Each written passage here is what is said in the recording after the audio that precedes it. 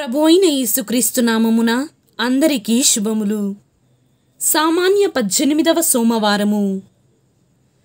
మొదటి పఠనము ఇర్మియా గ్రంథము ఇరవై ఎనిమిదవ అధ్యాయము ఒకటవ వచనము నుండి పదిహేడవ వచనం వరకు. ఆ సంవత్సరమునని అనగా సిద్కియా రాజు పరిపాలనా కాలమున నాలుగవ ఏడు ఐదవ నెలలో గిబ్యోను నగర వాసియు అసూరు కుమారుడు హనన్యా ప్రవక్త యాజకులను ప్రజలను వినుచుండగా దేవాలయమున నాతో ఇట్లు పలికెను. ఇస్రాయేలు దేవుడైన ప్రభు ఇట్లనుచున్నాడు. నేను బబులోనియా రాజు కాడిని విరగగొట్టి తిని బబులోనియా రాజు నెబుకదనేసరు ఈ తావు నుండి తన దేశమునకు కొనిపోయిన దేవాలయ పాత్రములన్నిటినీ రెండేళ్ళ కాలములోనే నేను మరలా కొనివత్తును. యహోయాకీము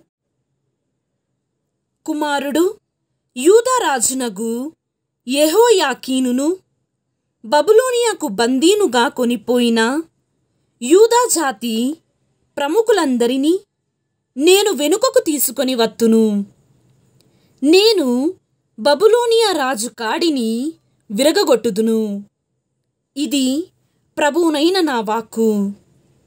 అప్పుడు నేను దేవాలయమునందలి యాజకులను ప్రజలను వినుచుండగా హనన్యాతో ఇట్లంటిని అట్లే జరుగునుగాక ప్రభువు ఈ కార్యమును చేయునుగాక అతడు నీవు ప్రవచించిన కార్యములను నెరవేర్చి దేవాలయ పాత్రములను బందీలను బబులోనియా నుండి మరలా ఇచ్చటికి తీసుకొని వచ్చునుగాక కాని నేను నీకును ఈ ప్రజలకును చెప్పు పలుకులాలింపుము.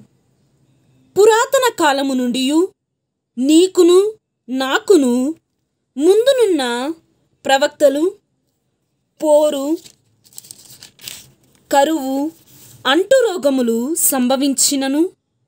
పెక్కు జాతులకును రాజ్యములకును ప్రవచనములు చెప్పిరి. కాని క్షేమము కలుగునని ప్రవచించు ప్రవక్త యున్నాడే. అతడు ప్రభువు వలన పంపబడెనని నిర్ధారించుట ఎట్లు? అతని మాటలు నెరవేరుట వలననే. అంతటా హనన్య నా మెడ మీద నుండి కాడిని తీసుకొని విరగగొట్టెను. అతడు ప్రజలందరూ వినుచుండగా నెబుకదనీసురు రాజు సకల జాతుల మెడ మీద పెట్టిన కాడిని నేను రెండేళ్ళలో ఈ రీతిగానే విరగగొట్టుదును అని ప్రభువు పలుకుచున్నాడు. అనిను.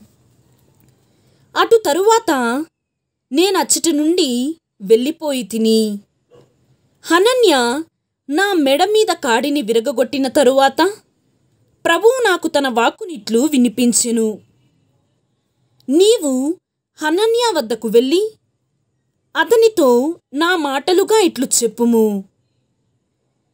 నీవు కొయ్య కాడిని విరగగొట్టవచ్చును. కానీ దానికి బదులుగా నేను ఇనుప కాడిని సిద్ధము చేయుదును. సర్వశక్తిమంతుడైన ఇస్రాయేలు దేవుడు ఇట్లనుచున్నాడు. నేను ఎల్ల ప్రజల మీద ఇనుప కాడి నుంతును. వారు బబులోనియా రాజుకు నెబుకదనేసరుకు ఊడిగము చేయుదురు. నేను వన్యమృగములు కూడా అతనికి సేవలు చేయునట్లు చేయుదును. తదనంతరం నేను హనన్యాతో ఇట్లాంటిని. ఓయి నీవు నా పలుకులాలింపుము. ప్రం ప్రభువు నిన్ను పంపలేదు. నీవు ప్రజలచే అనుత్యమున నమ్మించితివి. కనుక ప్రభువు నీతో ఇట్లు చెప్పుచున్నాడు. నేను నిన్ను భూమి మీద నుండి ఆవలకు గెంటివేయుదును ప్రభువు మీద తిరుగుబాటు చేయడని నీవు ప్రజలకు బోధించుతివి. కావున ఈ ఏడు ముగియకు మునుపే నీవు చత్తువు. ఆ ఏడు ఏడవ నెలలోని హనన్య కన్ను మూసెను. ఇది ప్రభుని వాక్కు సర్వేశ్వరునికి వందనములు.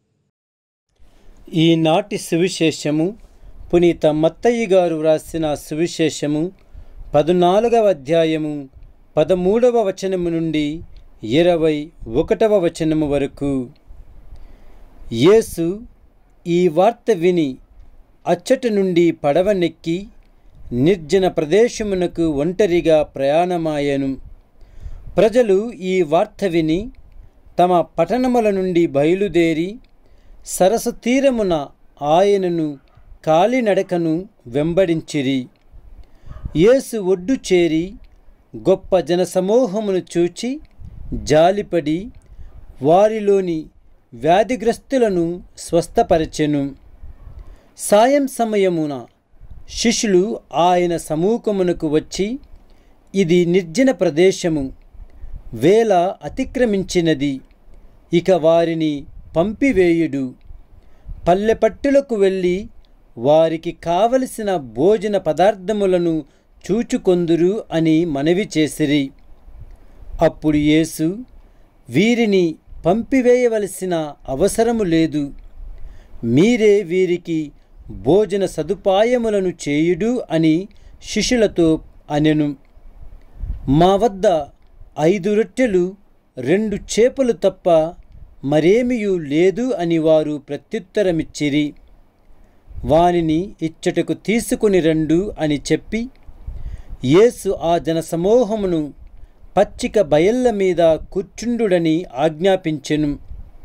ఆ ఐదు రొట్టెలను రెండు చేపలను తీసుకొని ఆకాశము వైపు చూచి వానిని ఆశీర్వదించి త్రుంచి శిష్యులకు ఇచ్చెను. వారు వానిని ప్రజలకు పంచిపెట్టిరి. వారందరూ భుజించి సంతృప్తి చెందిన పిమ్మట మిగిలిన ముక్కలను పన్నెండు గంపల నిండా ఎత్తిరి.